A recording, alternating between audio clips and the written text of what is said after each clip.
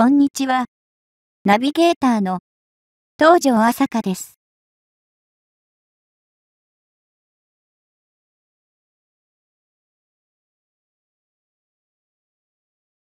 先日、中国潜水艦が日本の沖縄、奄美大島間を海上へ浮上後国旗を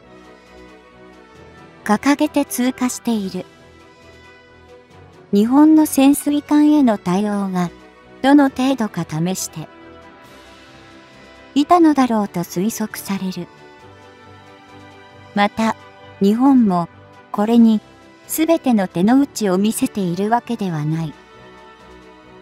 海上の動きはある程度わかるが、海底での動きは推測の範囲となる。その海底でのお話を少ししていこう。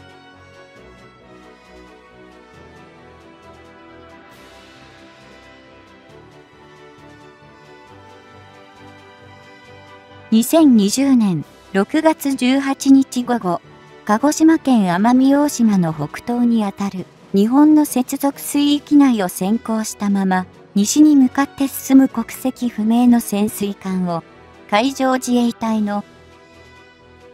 航空機や艦艇が捕捉していたことが明らかにされた。異例とも言える現川の防衛大臣の記者会見で伝えられたのもだが、どこの国のどのような潜水艦なのかという点も含めて日本政府としての。断定は避けつつも中国だと推定していることを述べた。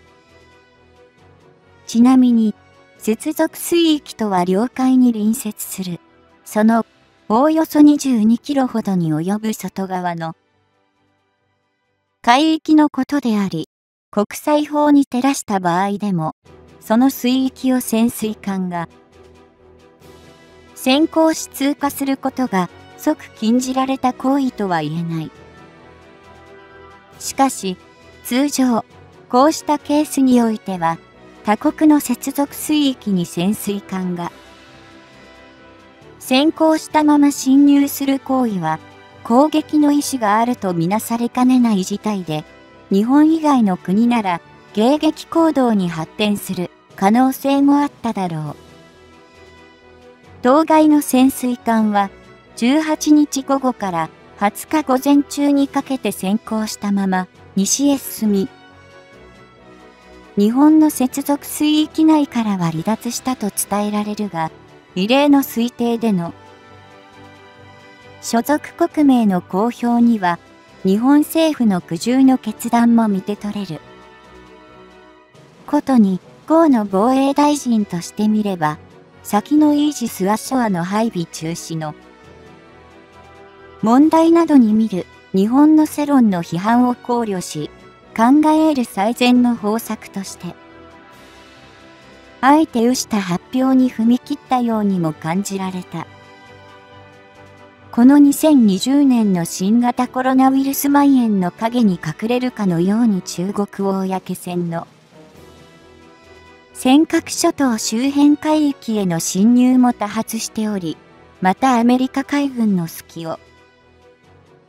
見越した航空母艦、遼寧艦隊の太平洋進出なども記憶に新しい。日本への中国の潜水艦の接近といえば、2018年1月に、小級攻撃型原子力潜水艦とみられる艦艇が、沖縄の宮古島周辺の接続水域内を先行しているのを海上自衛隊が、発見、追尾した事態も起きている。この時は、都合2日間にわたって、海上自衛隊の航空機や艦艇が追尾を実施し、中国の潜水艦が尖閣諸島近海の東シナの公海上で浮上、セールに中国国旗を掲げたことが話題となった。この中国の潜水艦が尖閣諸島近海でわざわざ国旗を掲揚した行動は、日本に対して尖閣諸島が中国の領土であることをアピールする。狙いがあったとの中国側の見解にのっとった主張も一部に見られた。しかし、大勢は海上自衛隊の航空機や艦艇からの必要な追尾を受けやむなく攻撃される危険性を回避するために正体を明かしたのだとする。見方が多く、海上自衛隊の探査能力の高さを裏付ける事象と考えられた。中国海軍は戦略型から攻撃型の潜水艦まで実に64隻をも配備し、目覚ましく艦艇数を増加しているが、この時の小級攻撃型原子力潜水艦が最新鋭艦だったこともあり、その屈辱は大きかったのだろう。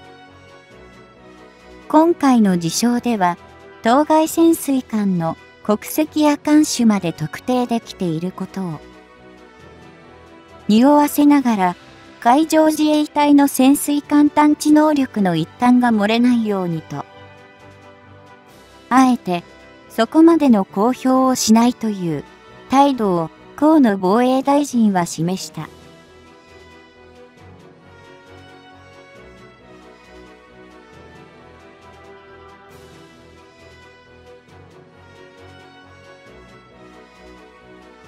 テレビのニュース報道などによれば、元海上自衛隊の幹部などの言として、海中に先行しながら敵に発見されてしまった潜水艦内では、その索敵者からのアクティブソナーが反響し、時間が補足されているのは、丸分かりだという。また、以前、海上自衛隊の潜水艦も当然、小級攻撃型原子力潜水艦の監視に当たっていたが、こちらは発見される可能性を考慮して海中に潜んだまま追尾に加わっていたとも推察されている。海上自衛隊では、ボトモンと呼ばれる個別の潜水艦を識別するのに、必要な情報をすべての中国海軍潜水艦に対してすでに把握しているとも伝えられ、アメリカ海軍と並び世界一とも称される対戦哨戒能力を印象づけた。こうした一連の報道を受けて、6月24日の日本進化協報は、今回日本政府が示した河野防衛大臣のコメントの目的を大きく4つに分けて日本を非難する言説を発表するに至った。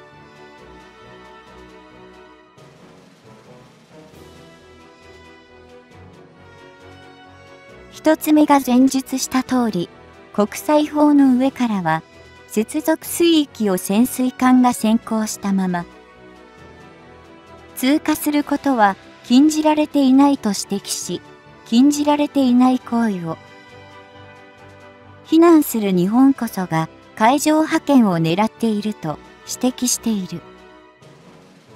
二つ目は、中国の潜水艦であると匂わせることで、中国の軍事的脅威を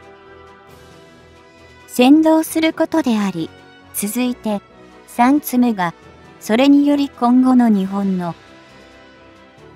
軍備拡張路線をも正当化しようと、世論の誘導を起としたものだと、述べている。